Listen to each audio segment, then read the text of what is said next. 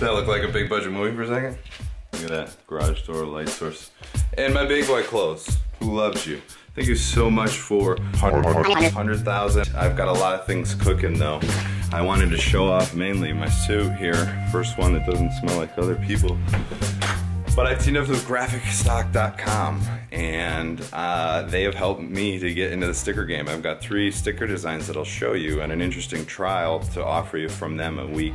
You can download up to 140 vectors or photos and illustrations and you can keep them royalty free. There's no like wacky contract business, which I'm a fan of. I thought these looked like sports teams logos on a bumper yelling at each other.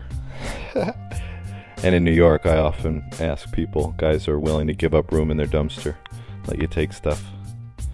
The buffering sticker reminds me of when the power of the modem used to get shut off. And then some nice color and frayed wires.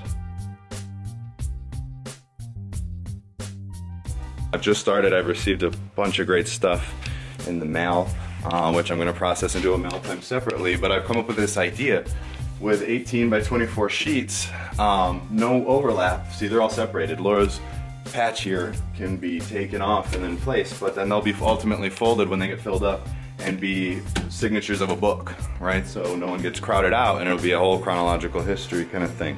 And I got great stuff. I'm gonna do a shop tour. There's an interesting story in this whole place uh, with my grandfather and you know, his tools. Graphic Stock Trial, please uh, check that out because they've been hugely supportive of me. I'm trying to round up people that will work with me to maintain my notion of this channel, what I want to do, the direction, um, and those who will support me are coming on board. Good things are coming. I'm also gonna do a Q&A, get into more details if you're interested about what's happening because sometimes I'm in New York and like bouncing around Jimmy or doing something in my shop at Queens and good things are coming.